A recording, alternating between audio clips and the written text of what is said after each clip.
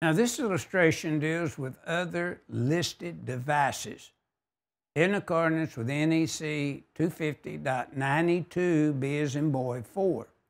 Now, this would be a situation where, with the right fittings, you wouldn't have to uh, install a, uh, a bonding jumper.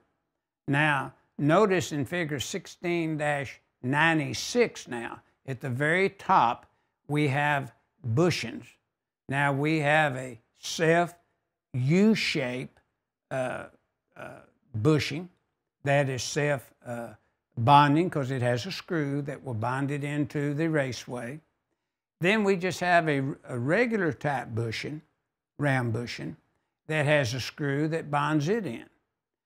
Now, in the illustration below it, we have a, uh, a lock nut that is self-bonding, and all we need is one.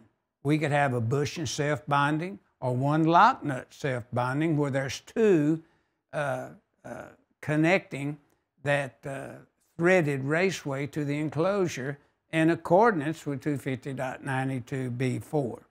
And then at the very bottom, we have standard lock nuts. Again, meaning what? There's no screw uh, or no means to bind any one of the lock nuts or bushing to the enclosure.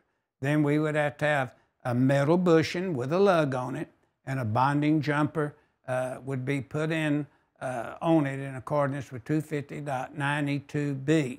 So that's what this illustration 16-96 is illustrating. Other listed devices that could be used to bond and ground raceways into the service equipment enclosure in accordance with NEC 250.92 B as in boy 4.